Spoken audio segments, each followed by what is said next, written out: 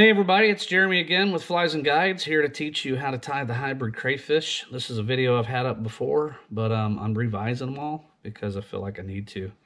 Better cameras, better everything, you know, as far as all that's concerned. And those look really bad. So these are the crawdads that I tie. I invented a fly kind of like this for Bob up there at Bob and Ed up at Feathercraft a long time ago. I think in 2003 I was tying commercially for their catalog. So um, there was a crawdad in there. They wanted me to kind of revise it, revamp it. And so I did, and I've been a fan of it ever since. So, and a lot of other people have too. So we're going to tie this little crawdad right here, which is, uh, comes in three colors. You can get them on the site too for sale. They uh, come in orange, natural, which is a brown, and olive. So let's get started. Tie, uh, show you how to tie one of these things. I've already got the hook and the vise, and uh, this is a Dai-Riki 700B. Um, and then this is an MFC 7073, same deal. This is a size 4 hook. It's got a bend in the hook, you can tell.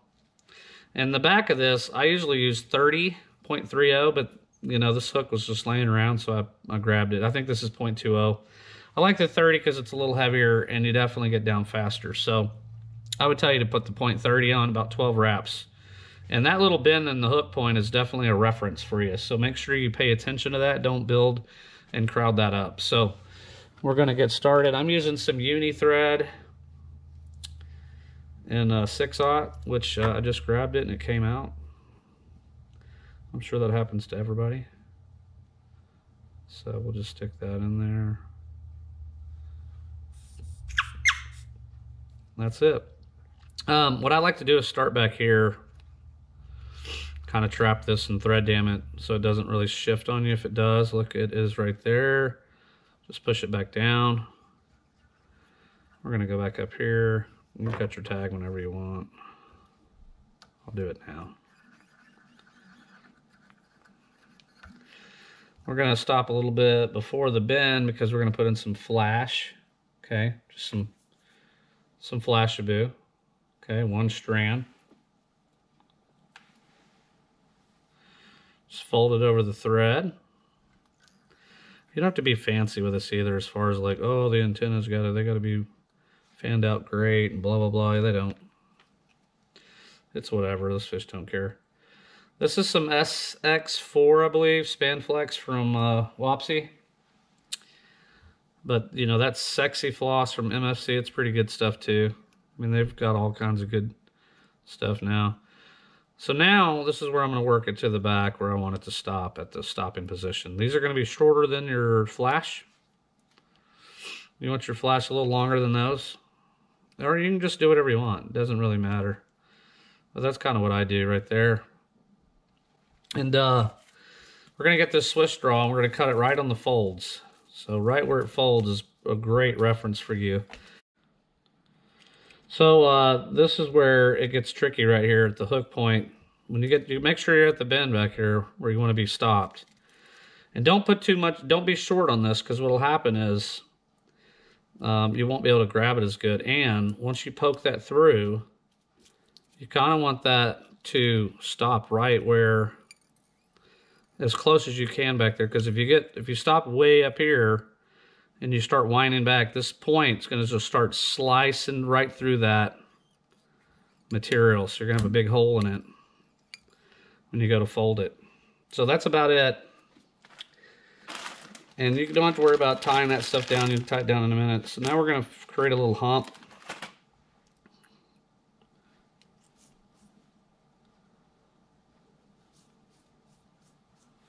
And this is for the pinchers so they flare.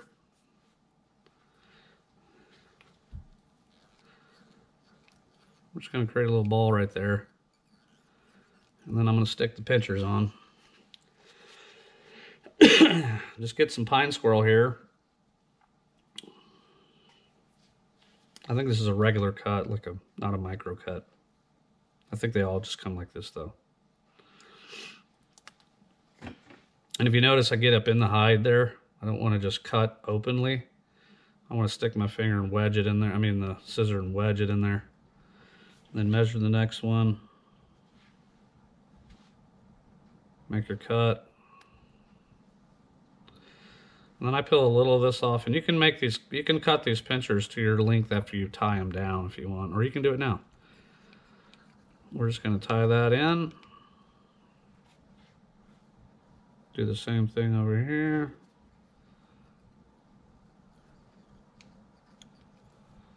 And there's your pinchers. Now you got to get some of this hen saddle. You got to get way back up in here so you get the longer stuff, okay? And some of this is really bad and some of it's really good. So fly shops don't like when I come in because I'll uh, open their stuff up, look and make sure I get the right stuff. If you just buy stuff to buy stuff, you're to get a lot of garbage. There's a lot of garbage out there. I'm just to split that. Tie that back to the stopping point, and then you're going to make a dubbing loop right here. I don't wind all the way back. I stop a little bit because I don't want to grab those pinchers when you start spinning it, you can grab that stuff. So this is SLF dubbing right here, Whitlock. So you just want to put the dubbing in there and uh, make sure you don't have knots in this dubbing. Just kind of play with it, you know, fan it out with your fingers here. Because if you don't, when you go to do the, the twisty, you're going to have a lot of Nazis, little clumpies. So I'm just going to throw that in there like so.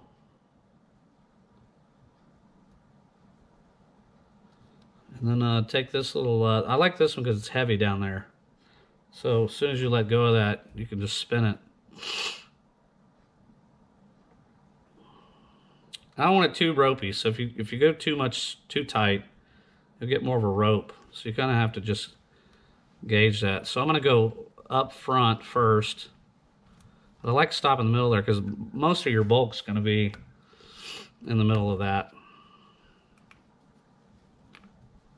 So now I'm going to wind almost all the way back to that bend. Then I'm going to go right back up and concentrate on the middle here to create that nice hump and then you just tie it down at that little point, the bend in the hook. Okay. A rabbit's up in my nose. So here we're going to do a uh, about four turns of this, about what I do. And I like that little fluff, that marabou kind of slapping look back here at the back.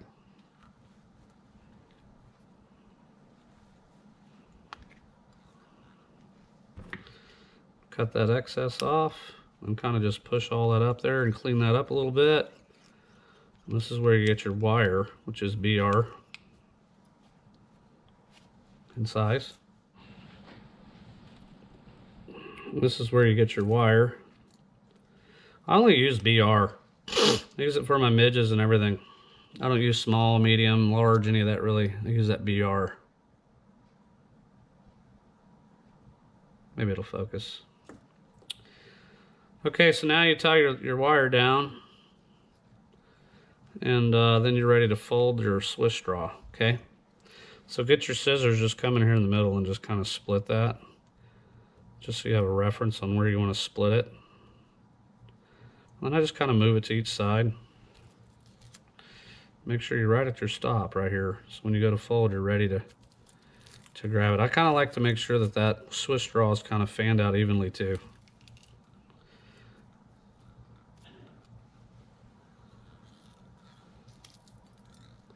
You only need two turns. Then you're going to start dubbing the body here in the back. And you can wet your fingers too and kind of get that material back out of the way. And kind of go a little bit more right there in that notch. Then you can just start going up with it.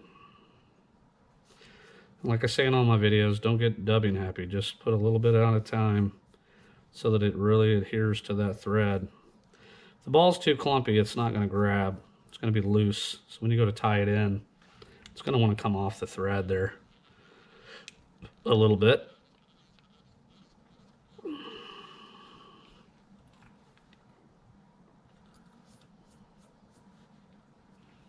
Okay.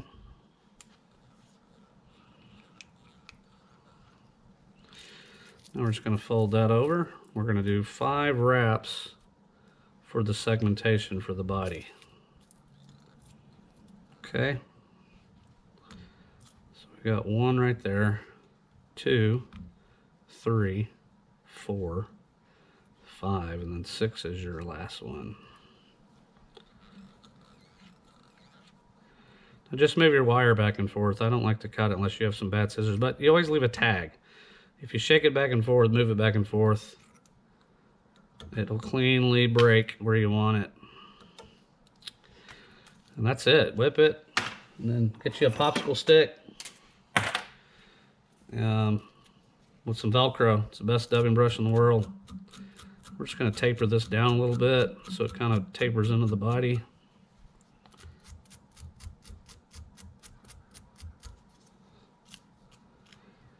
And then the uh, last thing is you can uh, cut these. These are a little long. So I'll go in here and measure them. If they're too long, they get a little lazy and they don't want to do the little bend flare look. Also, what you can do here, I just I do this a lot, is you can take some of this red, okay, and you can use a you can do it as a pincher. Just take a section of this, little baby cuts, about that much. And that got cut wrong. Let's do that again. Come here on the back of the scissor here, get inside the hide. You don't want to cut that hair. And that's about all I use. See that right there? What you can do is you can come in here with some glue and you can glue that little pincher on there. I'll go ahead and show you how it's done. I'm going to use a Solarez. Zap-A-Gap, I used to use that. It's a quick fix. Your pincher will, it'll glue to it, but it won't stay. Another thing that won't stay is that, that tear mender is the best, but it's pretty sloppy. You gotta, since you're messing with a skinny thing, you gotta be very delicate. I like this stuff because you can just zap it quick with that UV light. All right, so we're gonna go in here. We're gonna put that together like so. And we gotta find the gun. We're just gonna hit that, boom. I don't know if you can see that.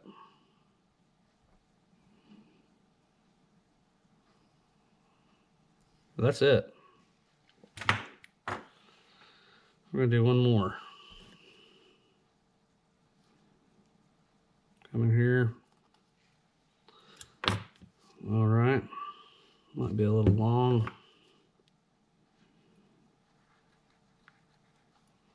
Okay. Hit that with that stuff again. Solarez.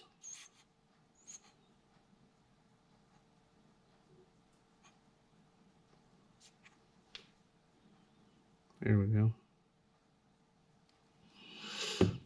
Okay.